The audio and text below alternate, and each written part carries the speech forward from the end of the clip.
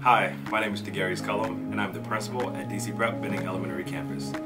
This is my 18th year in education, and this is my 11th year here at DC Prep. At DC Prep, I've been a preschool teacher, a kindergarten teacher, a dean of student support. I've been an academic assistant principal, along with a community assistant principal. Most recently, I spent 18 months as a second grade teacher, and now as your current principal.